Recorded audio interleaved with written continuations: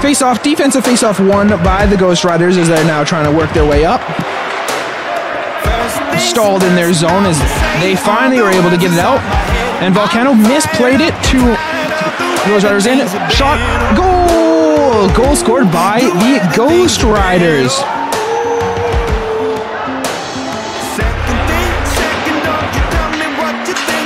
Down the ice, storms the Nelson Leafs. Nice pass to the slot. The nice goal by the Nelson Leafs to tie it up.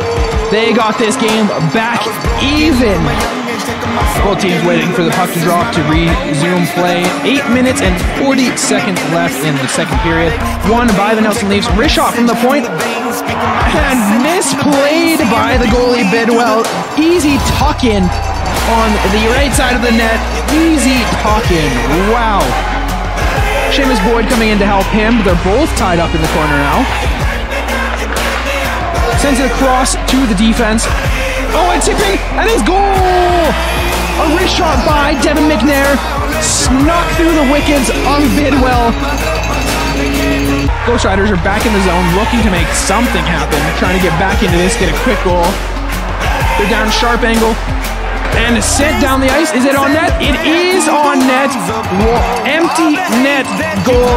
That is gonna probably seal the deal. Shorthanded empty net goal with 17 seconds left. Makes it a 4 1 game.